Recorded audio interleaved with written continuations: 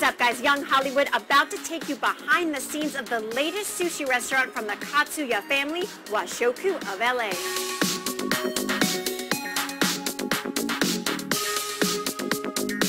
I am now in the kitchen with Chef Katsuya's son, Chef Ken.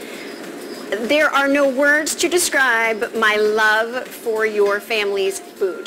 Thank you. It's probably the best sushi in Los Angeles, in the country, globally. You have restaurants globally. What do you think makes people flock to your food? I can list a million and one things. You tell me what the secret is. Us as chefs, we just do what we love to do. Put heart into our food. Of course, we have our signature dishes, crispy rice uh, with spicy tuna, baked crab, apple corn onion uh, with crispy onions, Oh, yeah. just to name a few things. But um, it's really all up to the chef and how we dedicate ourselves. We're right now in one of your newest restaurants in Studio City. You have branches everywhere, and yet it's the same special place. How do you keep it so consistent at every place? Because wherever you go, you see the sign, you know it's going to be perfect. We try our best. We have our uh, executive chefs running around each location. We make sure that the service, quality of the food is perfect. What lessons have you learned from your father? He is at the helm of this empire. To be strong, never give up. I was born to do this. I feel like I was born to do this with you. Before you do, you have to put on a chef coat in my kitchen. Now you're one of us. I'm honored. You have no idea. Teach me what you know. All right, we call this aji. This is a Spanish mackerel from Japan. When we make sashimi platter, uh, we use vegetables, you know, uh, like shiso leaf. This is a Japanese leaf, kind of minty. Some call it Japanese basil. Now, is this dish just for your new place, or you have this Oh, now is- at all the restaurants? We have it here. Uh, if customers order sashimi platter and they ask for a chef's choice sashimi platter, I'll make something like this Nice. off the top of my head and ask them what they like, what they don't like, and then, and then you know, I adjust from there and make sashimi. This is toro. Toro. We call this otoro, the fattiest tuna, tuna belly. Wakame, which is seaweed, Okay. Tuna. tuna, and these are yellowtail. Now tell me, what sets the menu apart here versus the other restaurants? We try to focus on omakase, uh, which is uh, chef's choice. We're focused on more traditional Japanese cuisine here. You get all the shabu shabu and the omakase sashimi. You know what shabu shabu is?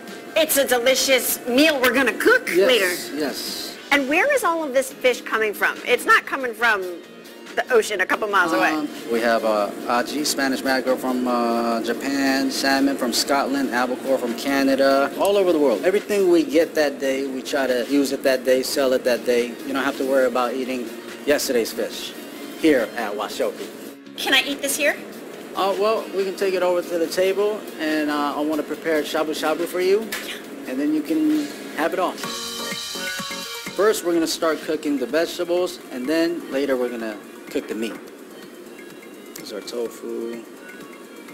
Then we have shiitake mushrooms. These take a little bit longer to cook, so I'm gonna add these in first, along with uh, Napa cabbage. These are shimeji mushrooms, Japanese mushrooms. We call this Tokyo negi. These are green onions from Tokyo. So when you dine here, you literally get a chef at your table doing this for you. Yes, that's part of the customer service. Shabu shabu is like a sound effect. Shabu, shabu. That's why we call it shabu shabu. Which sauce would you like to start with? Ponzu sauce or sesame? Ponzu, Ponzu. please. Good choice. Thank you. There you go.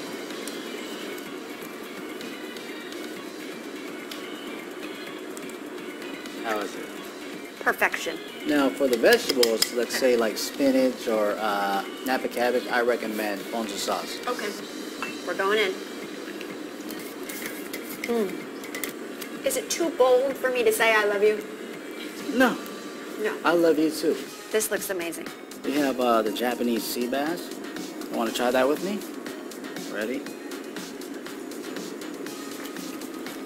Breakfast, lunch, and dinner right here.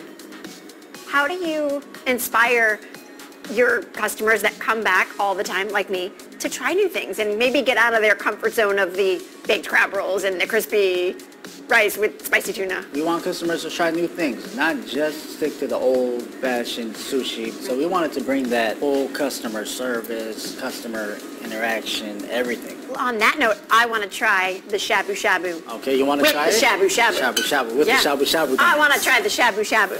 shabu. Shabu. shabu mm. I love you. Hug me. Yeah, bring it in.